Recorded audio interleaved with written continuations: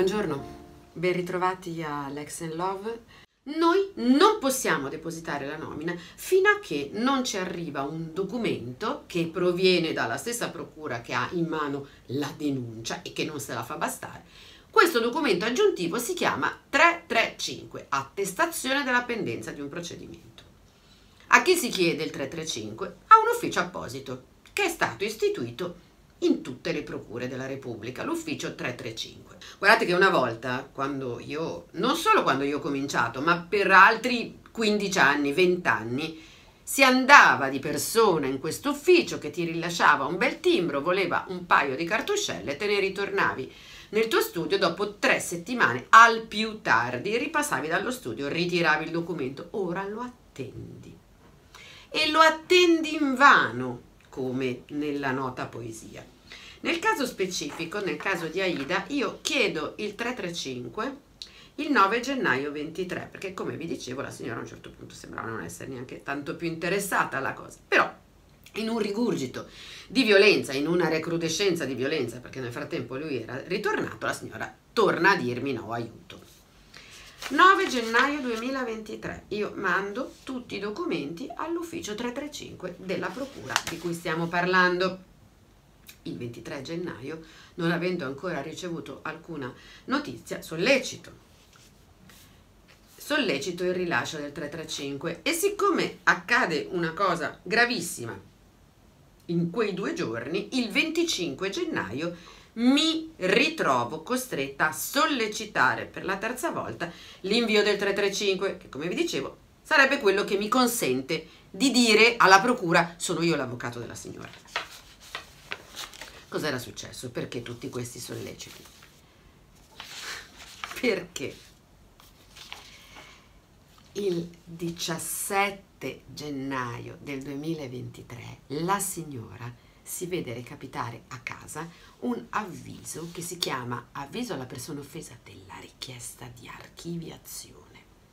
Cioè la procura che aveva in mano da maggio tutto questo incartamento e che non aveva ancora capito, non aveva ancora consentito a me di introdurmi dentro alla procedura e magari dare anche una mano, le dice, signora, ci dispiace, secondo noi qua dentro non c'è nulla di penale noi chiediamo l'archiviazione. La signora va nel panico, ovviamente, io con lei abbastanza perché poi da questo momento abbiamo 30 giorni, ecco perché ho 12 ore, perché vi sto parlando il 17 febbraio. 30 giorni per opporci.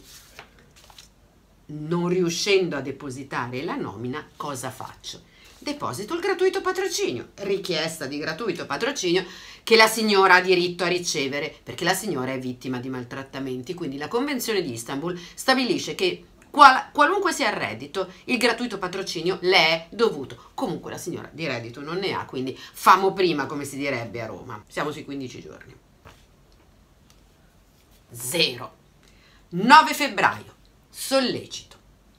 Zero.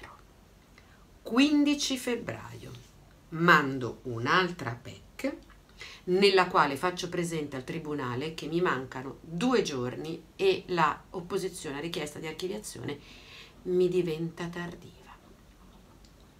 Il 15 febbraio stesso sono in quel tribunale per un'altra udienza, vado a chiedere in cancelleria chi sia il giudice assegnatario, a fatica riescono a dirmelo, Vado dalla sua cancelliera, le chiedo a che punto sia la pratica. La cancelliera gentilissima mi dice che lui, lui giudice, ce l'ha in mano dal 3 di febbraio. Eravamo al 15. 12 giorni bruciati per me, 12 giorni che il giudice, boh, guarda le carte, non le guarda, chi lo sa vista la malparata e sempre col pensiero che mi mancano due giorni e con l'aggravante del fatto che oggi, 17 febbraio, c'è lo sciopero dei mezzi, quindi sarebbe stato difficilissimo raggiungere questa procura, che per giunta non è quella del posto dove io abito, vado a bussare alla porta del giudice e con molta serenità gli dico, sono Pinco Palla, anzi guardate, sono Alessia Sorgato, difendo la tal signora, lei ha lì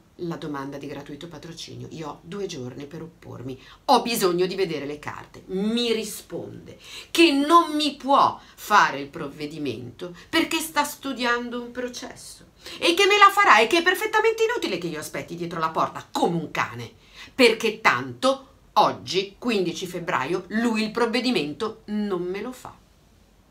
Ah sì, mi sono detta io. Dunque, vediamo quante chance ho davanti a me. Primo, sto zitta, me ne torno in studio. Quando arriverà il gratuito patrocinio verrò a vedermi le carte e se sarà il caso scriverò un'opposizione, vediamo. Non si ragiona così. No, perché qua c'è la pelle di una donna e di svariati figli da difendere. Allora sapete cosa ho fatto?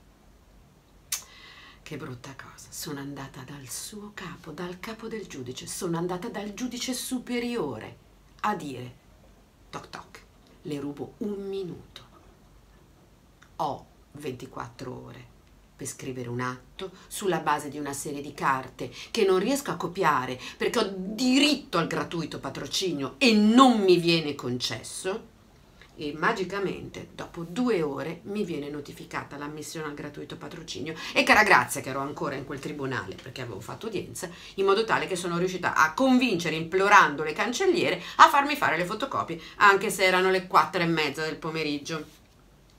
Ma volete sapere come va a finire questa storia?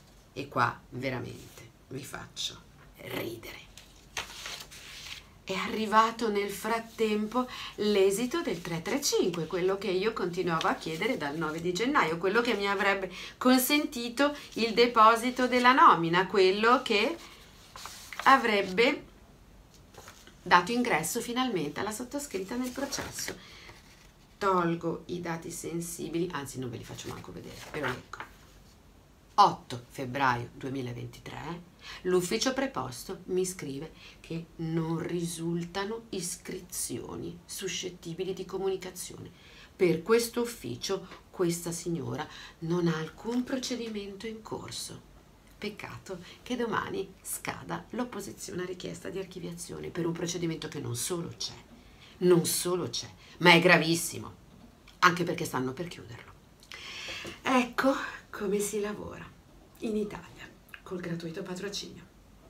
Imparate a difendervi, ma soprattutto imparate a chiedere aiuto a chi per voi andrà a bussare a quelle porte e fin tanto che non uscirà col documento che serve, non se ne andrà. Un saluto a tutti da Alessia Sorgato.